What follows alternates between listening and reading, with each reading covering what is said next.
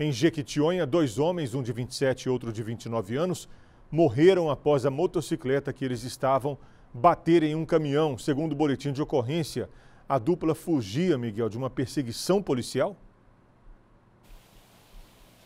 Exatamente, Saulo. Tudo isso foi na madrugada dessa quarta-feira na MG 105. De acordo com a Polícia Militar, a perseguição começou por volta de uma hora da manhã. Os dois homens estavam em uma motocicleta.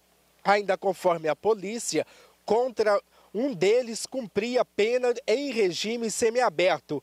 Durante a fuga pela rodovia, eles chegaram a bater contra um poste.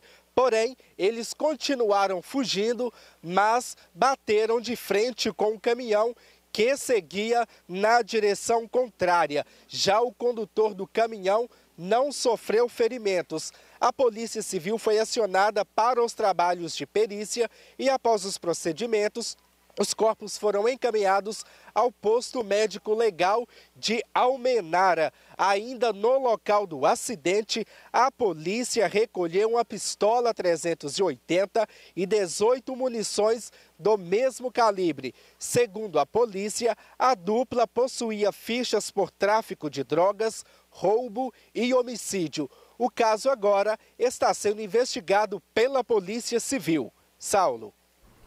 Obrigado por enquanto, Miguel.